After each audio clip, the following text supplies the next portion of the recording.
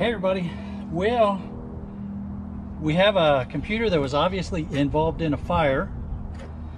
Now the question is, did the computer start the fire or was the computer in a building or a structure or something that caught fire?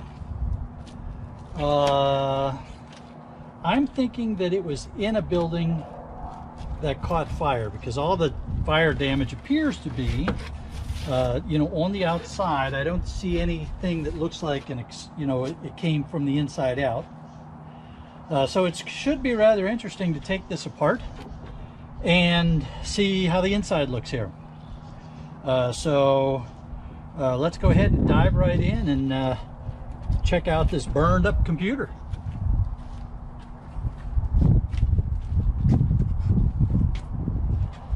Now we're going to do what we always do if we can.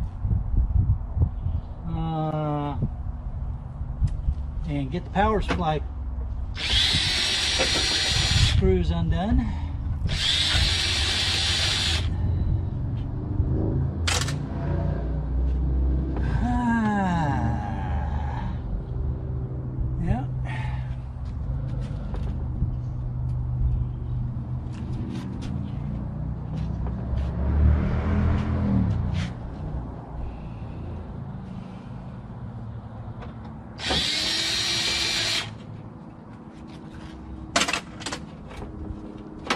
Peripheral boards.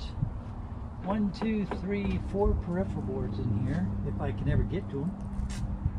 Uh, well, this is going to get interesting.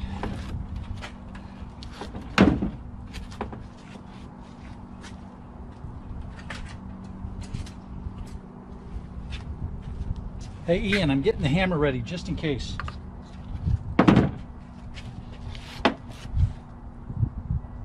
This probably had some sort of latching mechanism that released these the side panels. And that appears to have all been melted down in now so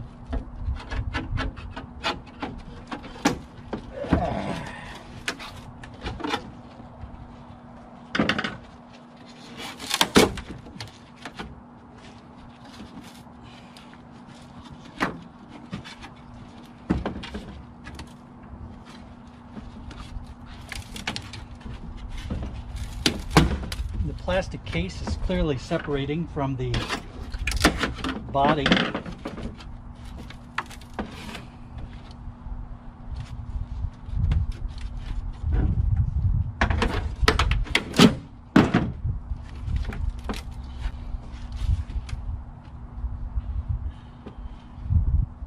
This appears to be the bottom part, so I'm going to flip it over.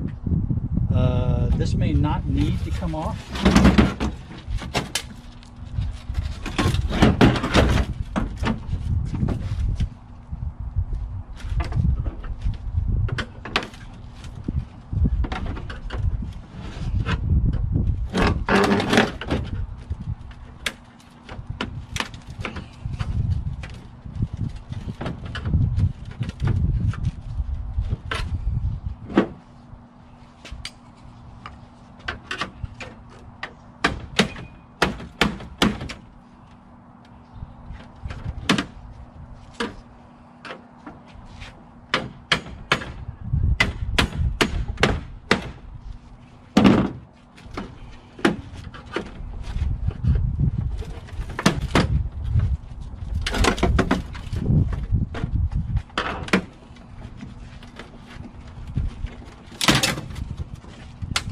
Okay, so the fire was very clearly from the outside. Um, you can see this is not scorched on the inside. Uh, you can see where the flames kind of smoke licked in here a bit. Uh, but otherwise, this is not in that bad a shape on the inside. And here you can see the inside uh, is there's no fire damage inside other than some smoke uh, so the fire was obviously on the outside of this computer. It just happened to be in a building or some structure that caught fire. So the rest of this should be relatively straightforward.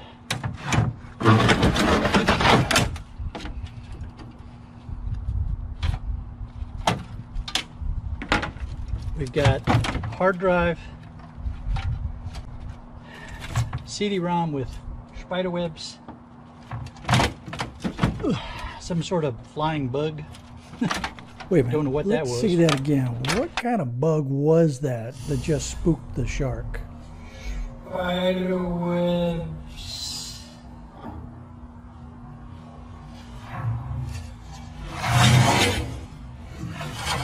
Well, if you missed it, go ahead and start laughing right now because it was none other than a killer attack butterfly, or flutterby, as my wife likes to call them. Yep, you really got to watch out for those man eating butterflies, flutterbys. Let's get back to the script. Took me by surprise. It snuck up on me.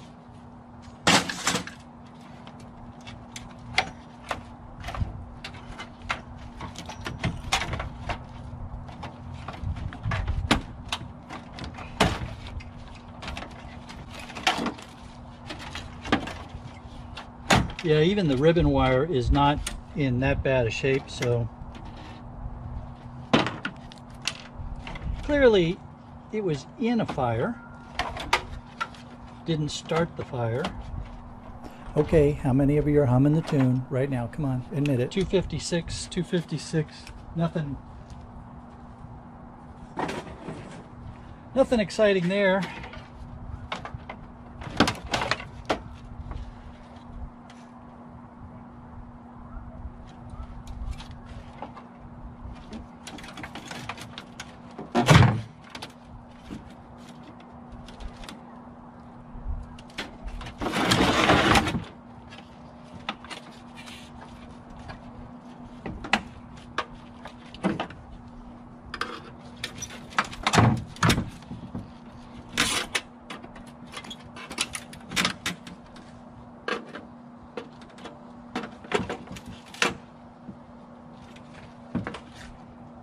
The latch there's a latch here for the power supply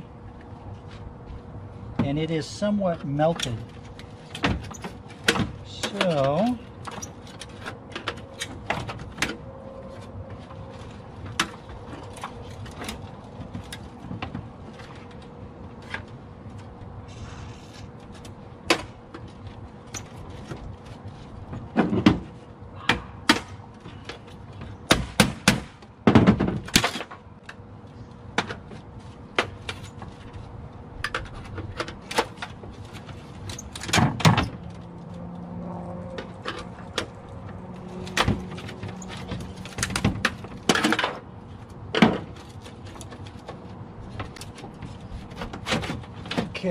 we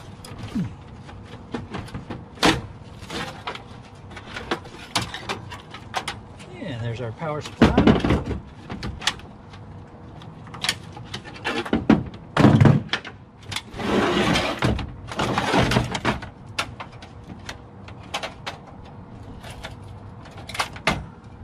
And just some Goldfinger boards here.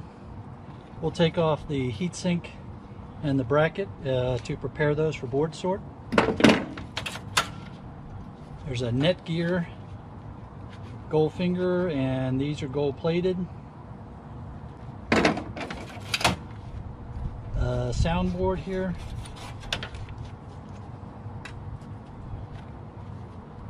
Um, take off the bracket, go to board sort as a gold finger card. And probably the Ethernet connectivity. So again, a Goldfinger card, take off the bracket.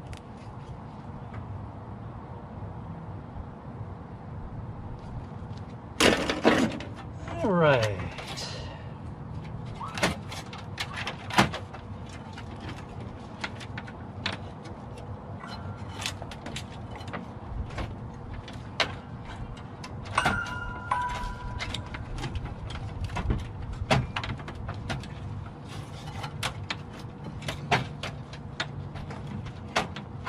There we go.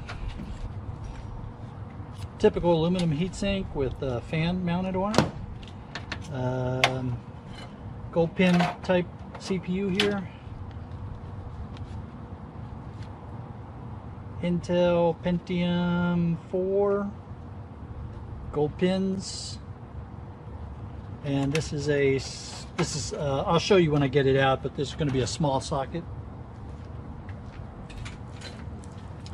So that means that I'll be selling it to my local yard as a high grade board. Uh, hex heads. All right, no problem.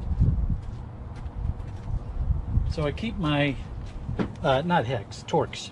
So I keep my Torx ready to go here. Um,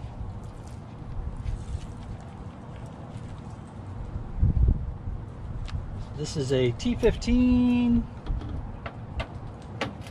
That's usually the right size. And then what I'm going to do, uh, because I'm working on this,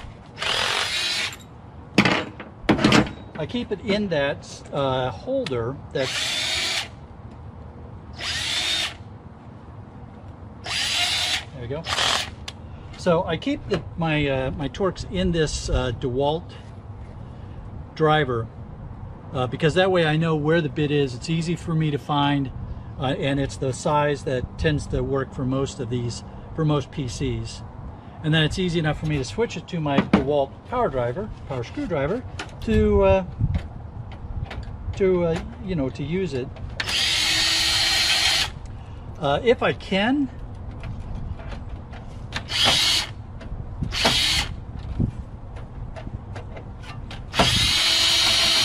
I try to put all of the Torx uh, computers in one place and work on them uh, together for efficiency.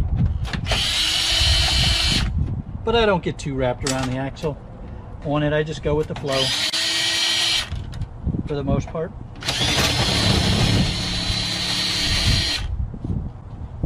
Hmm.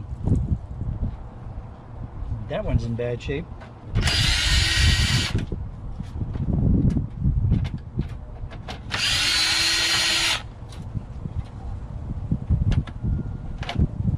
Okay, I got one that doesn't want to play.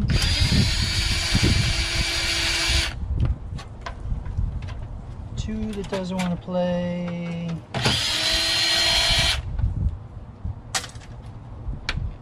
All right, now, and then you guys have to come out too.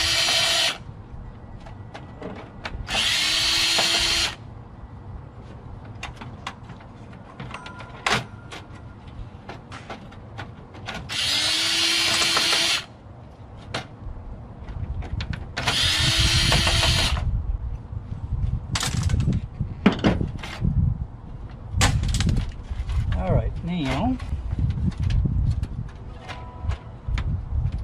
Ha ha ha, interesting. So in addition to all of the Torx that were on here, we have a we have a uh, one of these thumb drive screws. It's also got a Phillips head on it. Uh, ba, ba, ba, ba. I'm going to go by hand here on this one because it's already it uh, it's a Torx head that is yeah that's not going to work you can see it started to tear up my Torx this screw and this screw um, oh I just busted that one okay cool hey you know you do what you got to do Oh, I didn't bust it. Uh, these brass risers are the kind that slip and that go in and slide to lock in place. So these two uh, that didn't want to play, I might still be, uh, okay, that one's loose, so I can get that one out.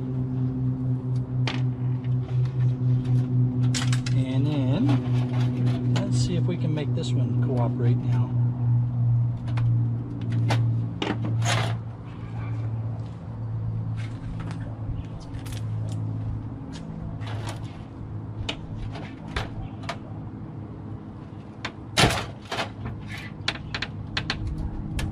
There we go.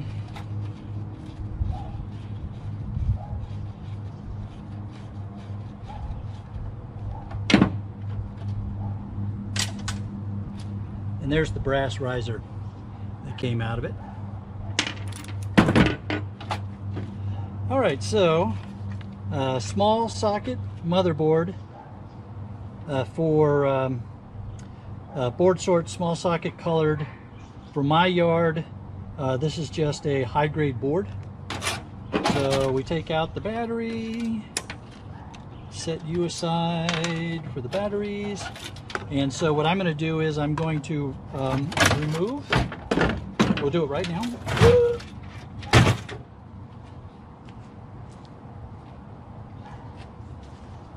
Chisel. Gold corner BGA.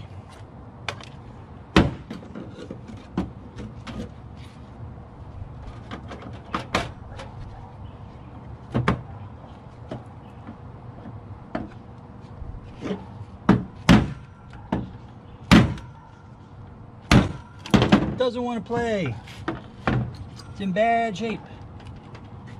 And breaking pieces off all over the place. And you don't want to lose these pieces from the BGA because there's gold inside of those.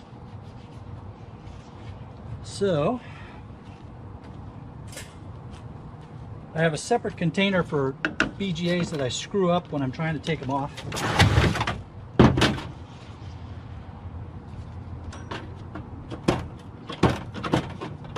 Let's try going in from another corner here. Yeah, this one's just really messed up. I think the the heat from the fire probably uh, contributed to it uh, self-soldering maybe. Let's try. We get the battery jack out of the way. And we're going to try one more corner, one more edge on it. Yeah, it worked that time. All right, so we kind of mangled that one, but um, and I, I recovered the pieces from the cap of it, but um, that's all right. You know, uh, I'm trying a new refiner, uh, so we'll see uh, how that works.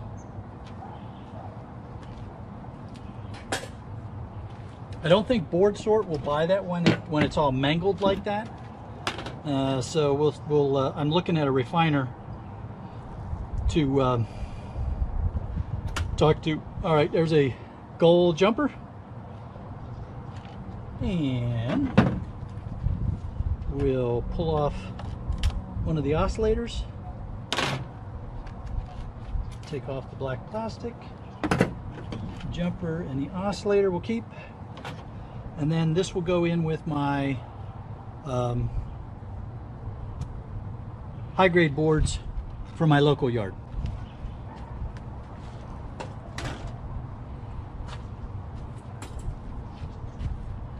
All right, so what else do we have? We have a hard drive. And how do you want to come out? Are you going to be that simple? Uh, yes, you are. Look at that. Wasn't that easy? One little.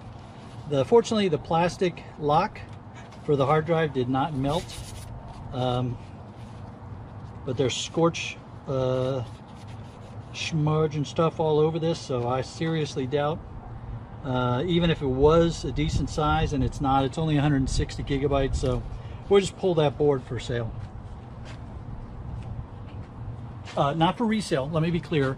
I'm going to sell the board to board sort uh, with with hard drive boards, and then the the uh, hard drive itself will get sold as a hard drive with no board to my local yard, unless I decide to take the time to um, to scrap it down uh, to the aluminum and the platters and all that.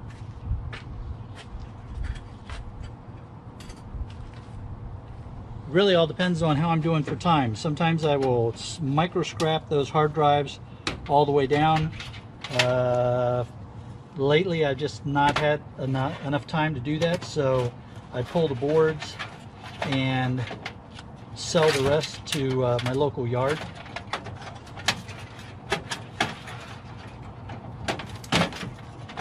That is not the uh, best way to do it well, let me refrain. I don't want to say that's not the best way. The best way is such a relative term. I can probably make more money per hard drive if I if I micro scrap them all the way down. However, when I'm dealing with a lot of computers uh, in backlog, um, I don't have the time to do that. So um, I then have to do what I can do the processing that I can do quickly uh, to keep them moving. Now here's all those brass risers. Um, these are nice, nice brass, so go in the brass bucket. And the CD.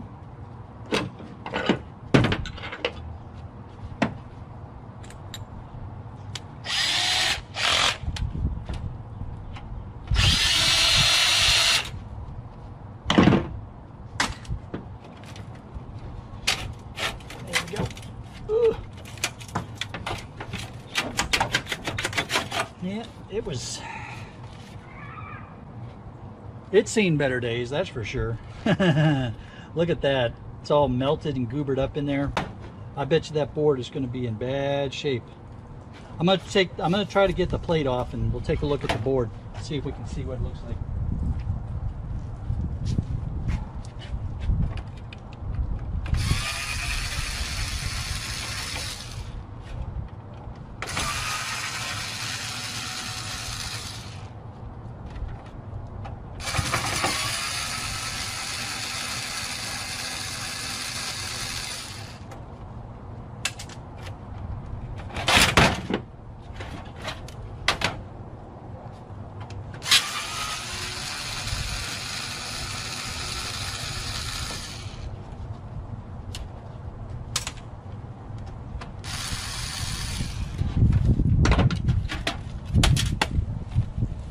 Okay.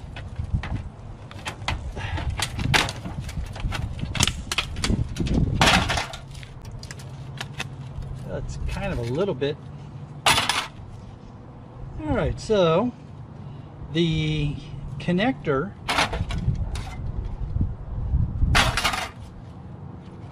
Man, this is all right. So this was the the back plug end, and um, it appears as though when I pulled off the ribbon wire, I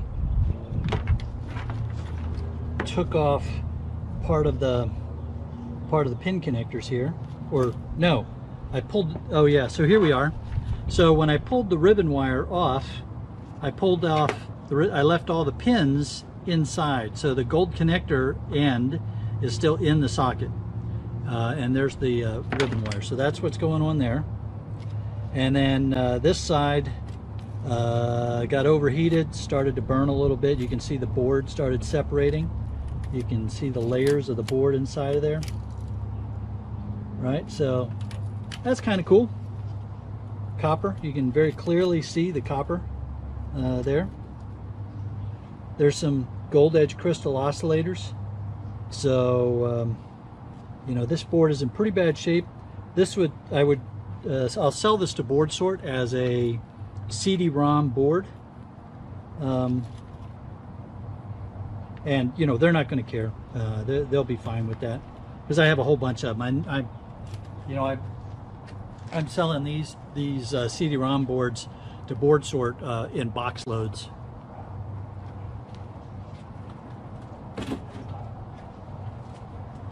Okay. Now then, let's see. You are not gold plated. There's a disc inside of there. I'm just curious. Um, whenever I see a disc inside, I get curious and see what was left inside the CD-ROM. The Reverend Timothy Wright, the Godfather of Gospel. Uh, it's all melted in there, so If you want to see more of my E-Waste specific scraps, there's a link going to pop up here to take you to that playlist. Uh, and of course, when you're on my page, you'll see a playlist for the street scraps as well. Those are always a lot of fun. If you've enjoyed this video, please give it a thumbs up and don't forget to subscribe to the channel. That's that little red button in the lower right hand corner. Uh, click that bell so you don't miss a single episode. I have had a lot of fun going into this burned out computer. I'm glad we were able to determine that the computer didn't start the fire, it just happened to be stuck in a fire. You all have a great day and stay safe.